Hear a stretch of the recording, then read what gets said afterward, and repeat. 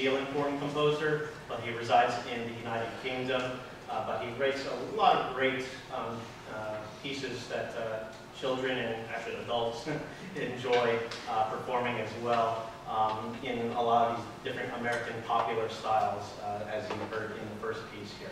The next one is not as cheery, it's a little bit more contemplative, and this one is called Floating by Christopher Norton.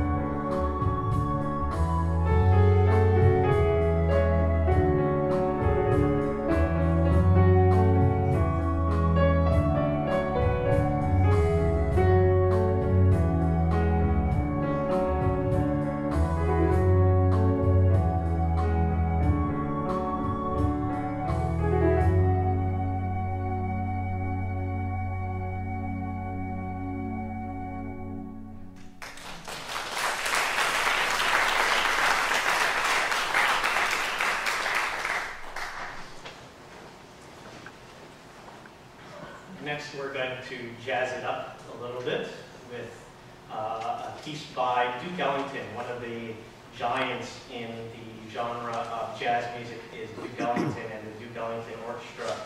And there's this wonderful collection published by the Hal Leonard Corporation that has some transcriptions of some uh, Duke Ellington tunes, and this is one of them. Uh, so hope you enjoy it. This is called Don't Get Around Much Anymore.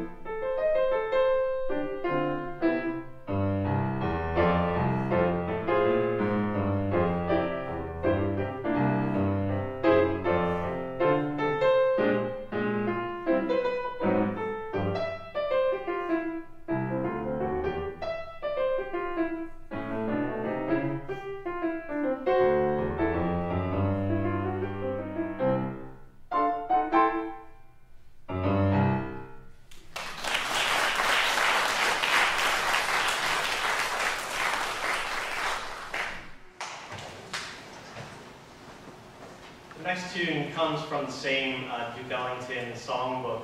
Um, however, it was actually composed by Billy Strayhorn, who was, was a, a, frequent collaborator with Duke Ellington, but uh, the piece was bit, has been popularized so much by the Duke Ellington Orchestra that it's often affiliated with Duke Ellington, and this is called Take the A Train.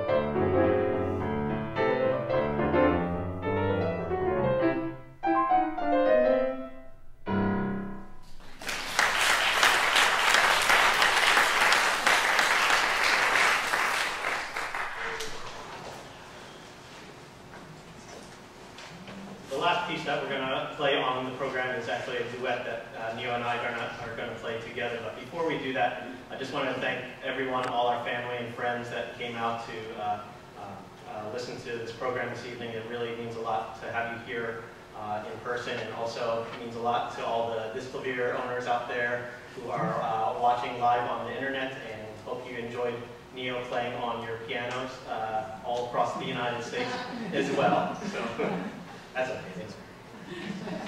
Um, but uh, also, again, I'd like to thank um, the uh, Yamaha Corporation, particularly Jerry Downs and Jim Lebeck there in the back, who uh, helped arrange all of this here.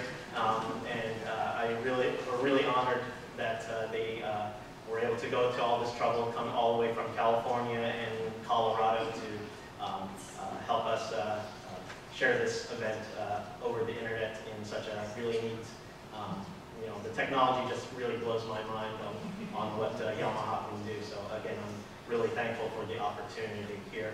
Also like to thank uh, my wife and her parents, uh, Jingfu and Changyo. They have a reception out in the lobby if you would all love to join us. Uh, and also Nio um, for um, a little bit of refreshments afterwards. We would like to do so. Sorry, those of you watching on the internet, we can't share the food over the internet just yet. We're working on it. We'll see if we can do that some other time. Um, the last piece that we're going to be playing is by an Italian composer. He's still living today and he's very live and well here. His name is Giovanni Dettori, and probably not very well known, although thanks to the magic of uh, viral video uh, and YouTube, um, he's kind of made a little bit of a name for himself, particularly on this composition here, uh, which is called the Lady Gaga Fugue. Um, for those of you who don't know what a fugue is, a fugue is a form that became a little bit popular during, I shouldn't say a little bit popular, but uh, pretty popular during the Baroque time period. Johann Sebastian Bach is often affiliated with the uh, fugue. Um, uh, to make a long story short, a fugue is almost like a round where you have a basic subject or a melody like row, row, row your boat, row, row, row your boat, and it keeps going and going over again. But of course, it's a lot more complicated than just a round. What usually a composer like Johann Sebastian Bach does is take that small subject or melody and spins out all these different musical ideas that can come out from it seamlessly. And what Giovanni Dettori has done is he's kind of emulated Johann Sebastian Bach's style within this fugue form. Um, but I guess why it got a little bit popular was that the subject matter that he used was from Lady Gaga's hit Bad Romance. And uh, uh, it's kind of interesting and it's a really neat way of appreciating the old Baroque form of, of the fugue uh, within the context of a melody that was created right here in the 21st century. And I played it here probably back in September, here for all the college students in, at SFA, and they kind of, kind of got a kick out of it there. And luckily enough, there was a four-hand arrangement that Hal Leonard had put out there, and I said, hey, why don't Nio and I put together a performance here. And I thought it would be a nice way to tie in, the, again, the old with the new here with a Lady Gaga duet fugue um, uh, by Giovanni Dettori.